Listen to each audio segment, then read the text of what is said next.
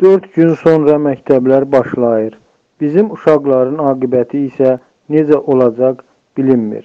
Bunu övladlarının təhsil aldığı dünya məktəbdən şikayətçi olan valideynlər Big Aza açıqlamasında bildirib.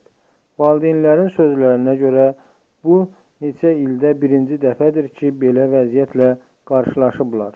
Onların şikayəti məktəbin rus bölməsində təhsil alan şagirdlərinin başqa binaya köçürülməsi ilə bağlıdır. Valideynlər bildirir ki, onlara əvvəlcədən heç bir xəbərdarlıq edilməyib. Hazırda məktəb rəhbərliyi ilə valideynlər arasında narazılıq davam etməkdədir.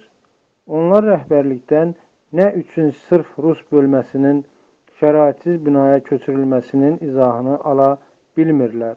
Lisensiyası olmayan binanı təhsil ocağı kimi bizə təqdim edirlər ki, övladlarınız burada təhsil alacaq. Bu sözləri 8 ildir oğlu burada təhsil alan valideyn bildirib. Birinci sinifdən oğlum bu təhsil kompleksində rus bölməsində təhsil alır. İndiyə qədər belə bir problemlə qarşılaşmamışıq. Təhsil haqqından əlavə kitabı və məktəb formasını da özümüz almışıq.